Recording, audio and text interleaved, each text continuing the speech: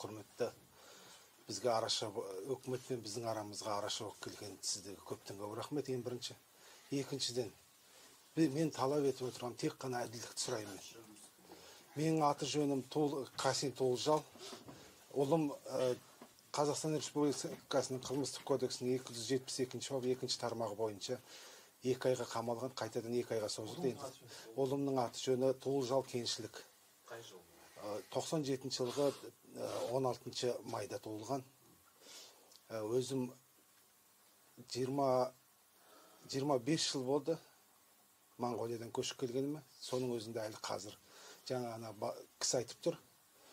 Осылай осылай сендер оралмасыңдар деп. Ол сөз бізде де болған.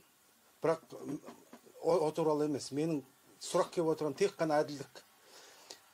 Неге әділдік сұрап отырмын өзінің пікірін айтуға өзінің ойын айтуға алаңға шыққан балалар неге осыншама үкіметке жау болып саналып қамалып жатыр?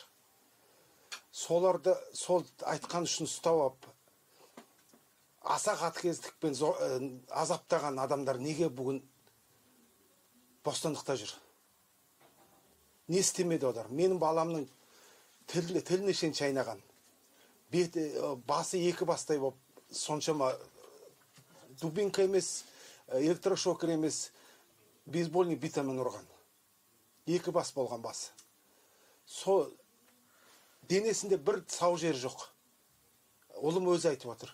Маған көрсеткен жоқ. Бес сегізінші январь қаңтар күні ұсталды. Машинамен келіп мен ауылда тұрамын айыртау деген ауылда отыз шақырым жерде. Содан ұстап әкеткеннен қалаға келгенше машинаның ішінде ұрған.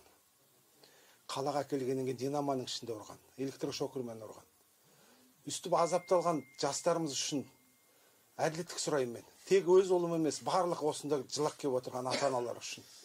Менің балам тек қана менің балам өзі охранник болып істейді күзетші болып істейді ауылдың жанындағы бір мекемеде. Соған машинамен барып келетін.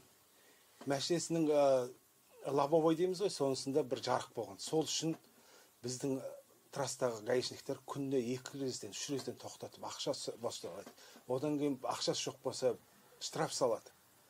Соны алдыңғы төрті күні президенттің айтуы бойынша бейбіт митингке шыға беріңдер рұқсат дегенде менің ұлым соны айтуға барған.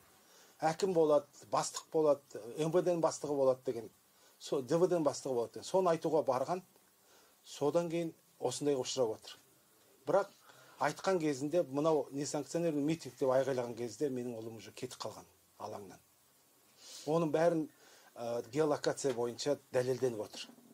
Ал бірақ екі айға созған кезде ә, неге постановлениеге жазылған брусчатка лақтырған ә, акиматтың қабырғасын бұзған деп. Ол не үшін жазды?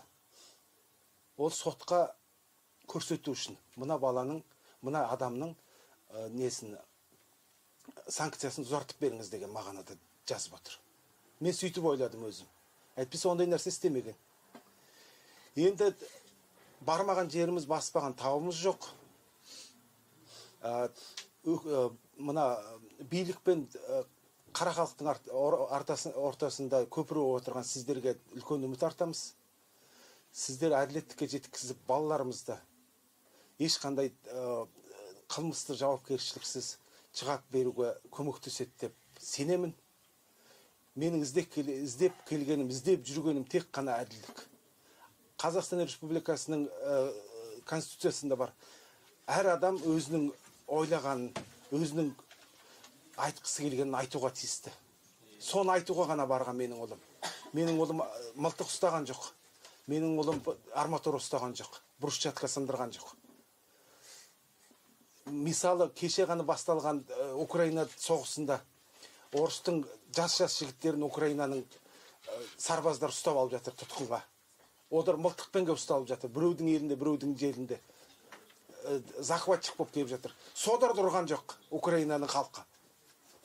Ұстап алды мылтығын алды отырғызып қойды. Ұрған жоқ соққан жоқ көріп отырмыз.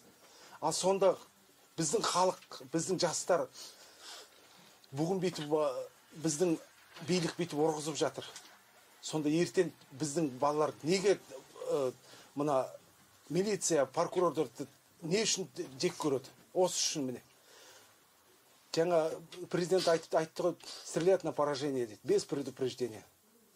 Соны біздікі теріспен түсініп шын айтқанда өздеріңіз білесіздер біздің өскеменде ондай мародерство ондай қырғын болған жоқ.